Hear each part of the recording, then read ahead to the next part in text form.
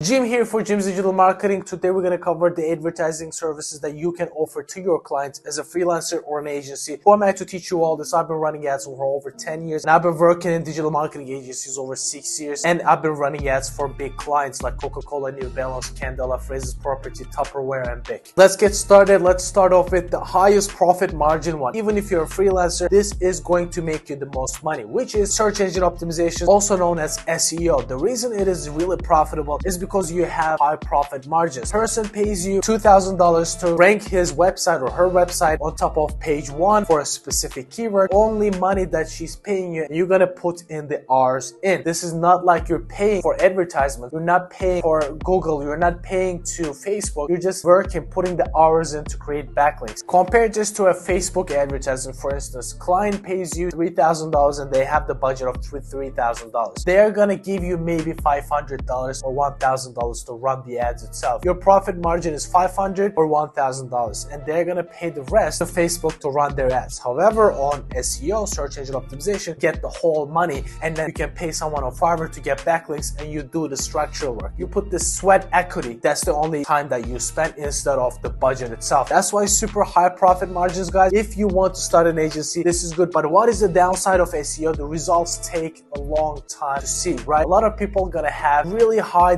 dots with your service. The reason being is, let's say you work with a really high quality agency and they take six months to rank highly competitive keyword and you are a nobody, let's say, and you're gonna take that same amount of time to rank that specific keyword. And the client is not gonna know if you're doing the job or not, right? That's why they're more likely to gonna trust a bigger agency to wait that long rather than a nobody. They're not gonna be able to know, uh, like, are they slacking? Are they doing anything really? Or is this just a scam? That's the only reason it's really hard to sell SEO, guys. They're not gonna see see results right away. That's why it's going to be really, really hard to sell SEO to a client who wants to see drastic results immediately. Let's move on to Google Ads. Google Ads is when person searches for something really, really high intention or searches for a product, Nike shoes, they see that product right away as an image or a text. The reason being this is so powerful is because people have really high intentions and you have the potential to highly scale your ads. The reason being if a client is ready to spend more, if they make more from Google Ads, they can spend way more and you get a cut from how much they spent on the advertising platform or you can charge a flat fee. That is a great, great service. However, the profit margins are really small as I said. You can charge a flat fee of a management service or a flat fee plus a percentage of the media spend or you just charge a media spend percentage or you can do a rev share or you can do a pay per lead. Totally depends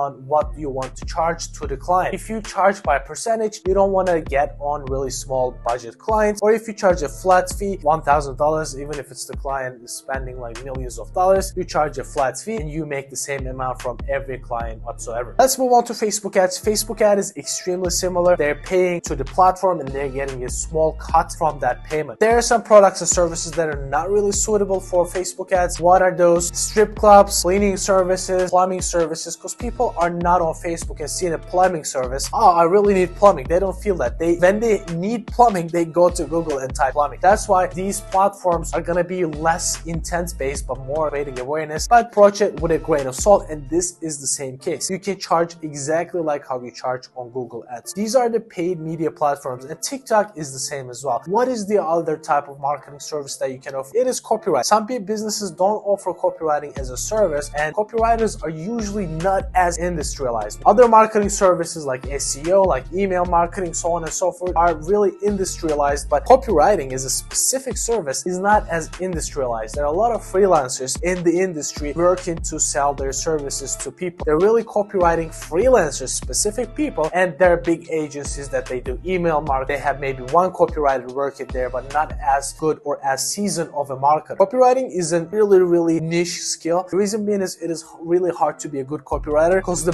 barrier to entry is almost non-existent. Everybody is a copywriter right now, and the ones that are really good are really hard to find. What the copywriter copywriters do, they write websites, they write emails, they write the ads on Facebook, for instance. When you see an ad, you don't say, oh, it's an amazing text, but you read through the ad and then you buy the product. That is job of a copywriter. And they, they get to your website, they read it, they buy the product. That is the job of a copywriter. They make you buy. This is why copywriting is so important, guys. Maybe like one of the most underutilized and undervalued skills in the marketing. But let's come to why you should offer it and can you offer it with a high profit. If you ask me, guys, it is hard to get a recurring payment from copywriting. It is a really high effort job to get a client and you offer them a one-off service. For instance, if you write copy for their website, for their funnel, you get, you're done, You're done with that client. Maybe in the future they build another landing page, but that's it. Compare that to Facebook ads, for instance. They have to run ads every single month and you get that recurring monthly retainer fee every single month. But with copywriting, you don't have that recurring fee. The only recurring fee you're gonna get if you write their emails or SMS or their ads. Even with the ads, they might get you to write like 10 different ad copy. That's it. You're not gonna be able to write them every single month constantly, constantly, constantly. That's why it is really hard to build a really recurring business from copywriting. That's why they're not really industrialized, but some brands, some really good copywriters charge a really high fee per a product page, for instance. The reason being is, let's say you drive the ads, you pay a lot of advertisement money, and a lot of people are gonna come and see that website. That's why that website has to be super top notch. Every single sentence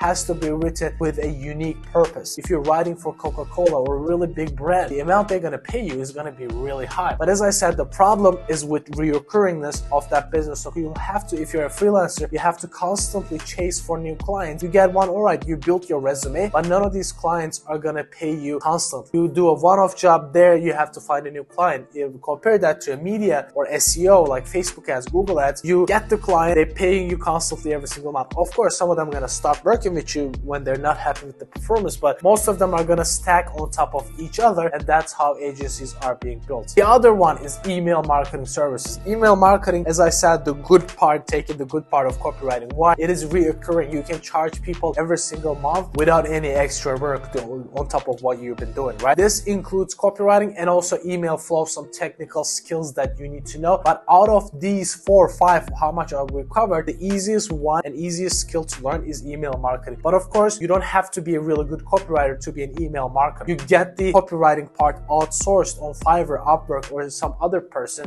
and you design the email flows. You design how the email looks, how the flow is built. You design everything else, and you get someone to write the copy, and you can build a, build a really good email marketing service. As I said, email marketing services and agencies are popular. However, agencies who offer email marketing, they also offer other services as well. If you're a freelancer and just want to start right away, I don't really suggest it's stacking everything all together. The reason being is I know what you're thinking, Jim. I'm doing email marketing. A client asks me if I do Google Ads. Am I gonna say no? Guys, I know it is super hard to do that, but if you want to be a specialized, the reason being is imagine you have an eye problem. Which doctor would you want to go to? An eye specialist or a generalist? Of course, you want to go to an eye specialist. And you would think generalists, they know everything, they're gonna be paid more. But from a consumer psychology standpoint, you're gonna go to the eye specialist. That's why I suggest specialize from one specific aspect. Just offer one service. And people will say, yeah, look, I'm not that big, but this is my bread and butter. I'm like the king in email marketing, the whatever case may be. You can just offer that. The next option we have is building funnels. Building funnels will include a lot of things, and there are not a lot of agencies that specializes in building funnels. In my experience, guys, I've been running ads, working in agencies for over like six years, and there's no agency that I've seen that are specializing in funnels. They do only like they look at with like a really narrow window. They focus on yeah, let's run Google ads, let's run Facebook ads, but they don't look at it holistically as a funnel. What is a funnel? You drive people to a lead magnet, they download the lead magnet, and you have to get people to build an email funnel, as we covered. Like it includes email marketing, it includes automations, it includes copywriting, it includes some sort of a web design, and you have to be proficient in all of those, but you don't have to be specialist on all of those because there are websites like ClickFunnels. You build the website, you don't have to know coding. You get ChatGPT, you don't have copywriter.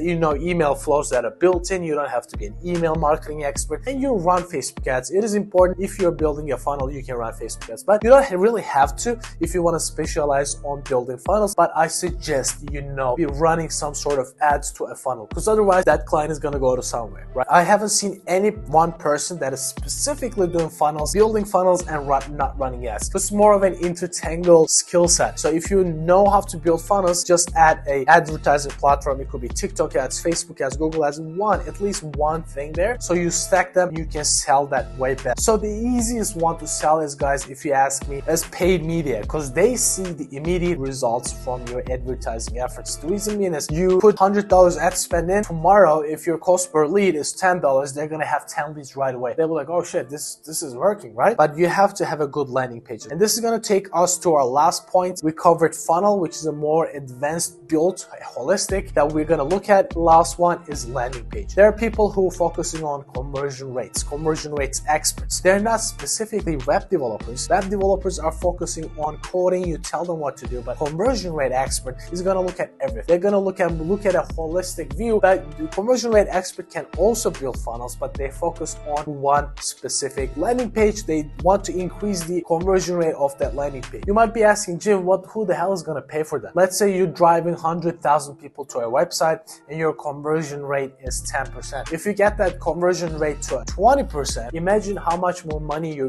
to make out of that 100,000 people. It is to be huge. You're almost doubling the number of people that you're converting. It is crazy with the same amount of advertising spend. That's why conversion rate is even more important maybe if you're spending a certain amount than advertising, than Facebook ads, Google ads, and everything. That's why most people make a lot of money from conversion rates and how they do it. I know it is not a reoccurring system. You say constant optimization, constant test, but they're gonna like at most stay with you six months, maybe one year. They're not gonna stay with you a long time because if they're a small business owner, they're probably not gonna stay with you for a long time. You can do a rev share model. So you can say from the additional improvement, the additional money that you make from the conversion rate improvements, you get a certain cut on top of the one-off fee. That is the best strategy that I found so far, but you have to be really good to increase their conversion rates. If you get a person that been making like a million dollars a year, you get them to make, let's say, double the conversion rates, you get them to make two million a year. From that uh, one million, you get 10% cut. What is that? $100,000 you're making right away. Bam. Crazy, but it could be done. It is a good sell, guys. The reason being is they don't have to pay you a huge fee upfront. But if you want to offer that service, guys, it is easier to sell, as I said, because they're not going to be paying you recurring fees. You just say, okay, if I increase, I'm going to get a cut. And they will be more inclined to give it a shot because at the end, they're making more money without paying you a ton of money like SEO or copywriting or email marketing, right? This is the good part about this, guys. And you have outdoor marketing services to cover those outdoor marketing services, guys, or TV advertisement. You have to know some people. You have to have some connections. There are some people on Fiverr and Upwork. They buy TV ads from for you. There's a specific platform that you use to buy TV spots, and there's negotiations involved. But you're not going to be able to see the results right away. And this is Jim's digital marketing, not Jim's traditional marketing. So we're not going to cover that too much. You can have higher profit margins with those advertising channels. The reason being is people don't know how much those cost, but they can log into Facebook ads, they can log into Google ads, they see how much they charge. But on TV ads, there are a lot of negotiations involved. So you can charge people way more. And a lot of big agencies include TV ads as well because they sell a big package. They have a big cut from that TV ads. And you don't necessarily have to have any skill whatsoever, guys. TV ads is for dummies. Is for dummies. You just think strategically and say, all right, what is the demographic, which channel they're watching, and at what times they're active. Let's say if you're trying to sell to a mom of a newborn, yes, like ads that are running in the middle of the night could be an option because the baby is gonna wake up middle of the night and you're selling some baby product. That could make sense. Or right in the morning when the husband at work, the woman is taking care of the baby, just right in the morning. Just strategic thinking like this is the only thing that you need. No technical skills is involved whatsoever. Hope this is clear. Don't forget to subscribe and see you in the next one.